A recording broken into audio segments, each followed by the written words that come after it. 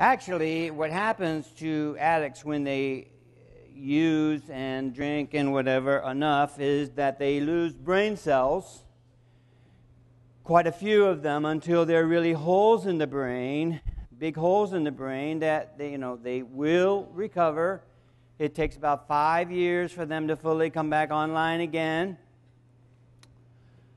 And so early in recovery, you're going to feel quite numb and as if there's something in between you and the world and the world and you. That's called intermediate brain syndrome. It feels like there's a cloud over your head and over your life and over your words and over other people's words. It seems like other people can't quite get through to you and you can't quite get through to them. And there's something in the way, but you don't know what it is. And it feels kind of gray and cloudy. So you're waiting for blue skies to come into a gray and a cloudy life. Well, that is going to occur.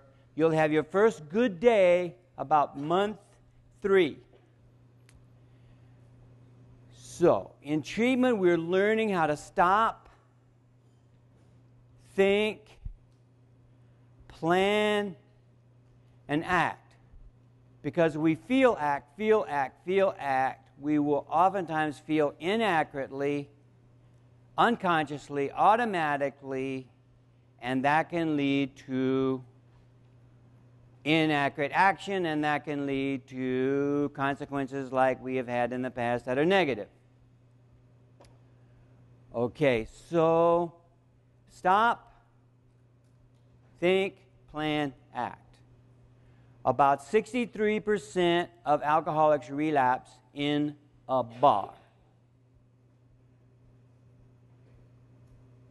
You may ask yourself, what are they doing in there? Well, they are playing pool, they're checking out the new carpet, old places, and places that you were using in that part of town where you purchased your drugs and things like that. Odds are you're going to trigger craving, and craving is painful and throws you into alcohol and drug withdrawal, which is painful. And every time we have had that particular pain, we have, you know, gone to the car, started up the car, and we know where we were going.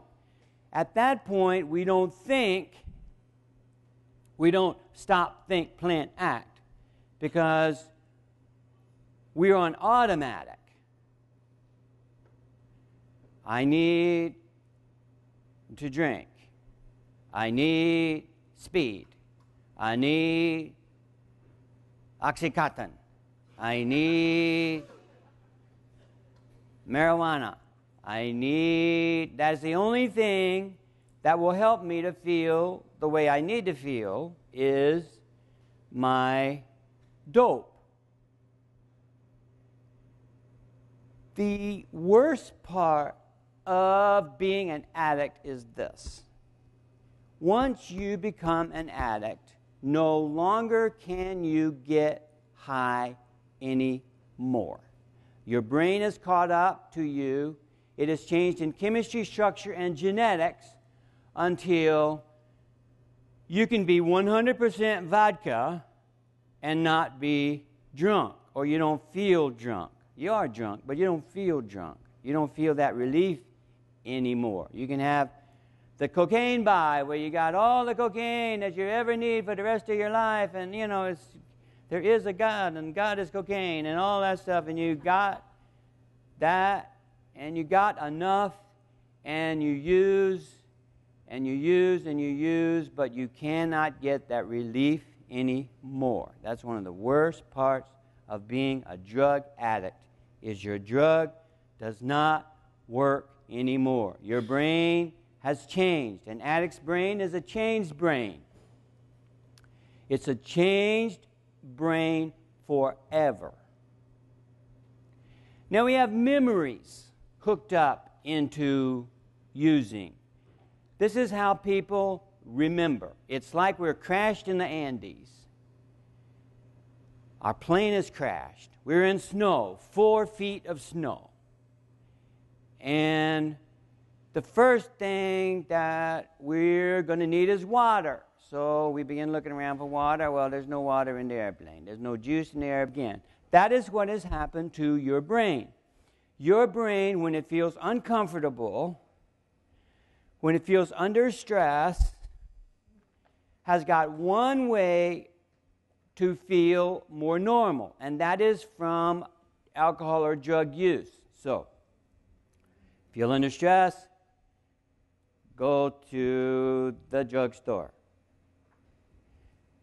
Feel unhappy, go to the drugstore.